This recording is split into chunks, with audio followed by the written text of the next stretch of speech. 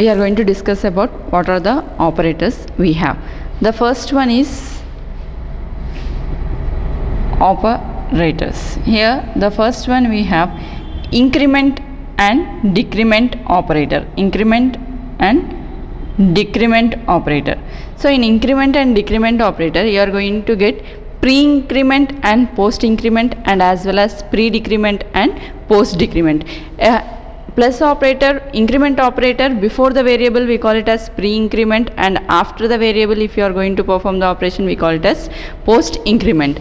Here this is some plus plus y. This is we call as pre-increment.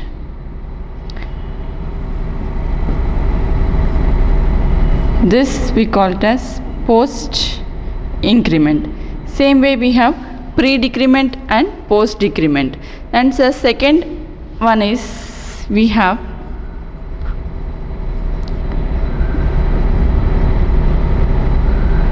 arithmetic operator. In arithmetic operator it is used to perform addition subtraction multiplication division and modulus. Here we have minus addition subtraction multiplication division and modulus.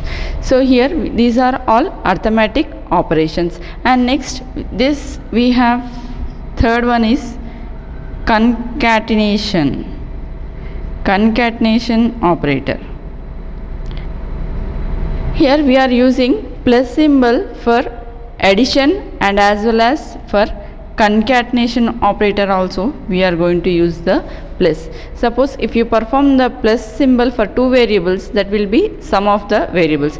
If you perform the plus symbol for two strings that will be like appending the two string values here. And next one these are the three and fourth one is